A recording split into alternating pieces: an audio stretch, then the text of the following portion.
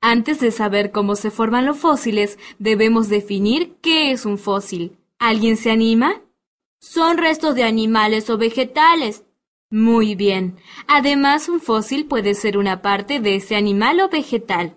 También pueden encontrarse huellas de fósiles que son las marcas que un ser vivo dejó en alguna superficie y que luego se transformó en un elemento muy duro y resistente. Claro, como una roca con marcas de vegetales o el ámbar en el que se encuentran algunos insectos. Maestra, ¿nos contaría un ejemplo de un fósil? Porque mucho no estoy entendiendo. Por supuesto. Les voy a dar el ejemplo de un fósil marino. En la misma época en que vivieron los dinosaurios, en el mar existía otro animal llamado anmonite, que poseía un caparazón resistente. Cuando murieron, sus cuerpos fueron depositados en el fondo del mar, en donde se descompusieron. Entonces desapareció la parte blanda de su cuerpo, pero se conservó su caparazón. Luego, y durante mucho tiempo, el sedimento marino fue depositándose sobre él en capas o estratos, y luego de miles de millones de años, el caparazón más la capa de sedimento que lo rodeaba se transformaron en roca, que por estar formada de sedimento se llama roca sedimentaria.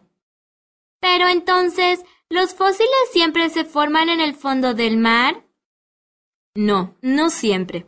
La fosilización de un organismo depende de muchos factores, por ejemplo, si ese organismo posee estructuras duras como huesos o caparazones, depende también del ambiente en el que se deposita y lo que ocurra con el terreno en el cual se produce la fosilización.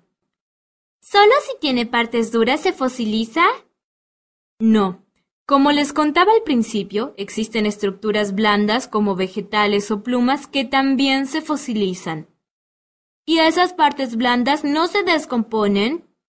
Para que se fosilice una parte blanda, el organismo debe depositarse en algún ambiente con características poco aptas para la vida. Por ejemplo, en aquellos donde existe poco oxígeno, o en ambientes muy ácidos o muy fríos. Además, en el lugar debe haber abundante sedimento. Por esto mismo es que muchos fósiles provienen de antiguos ambientes acuáticos, lodazales y pantanos.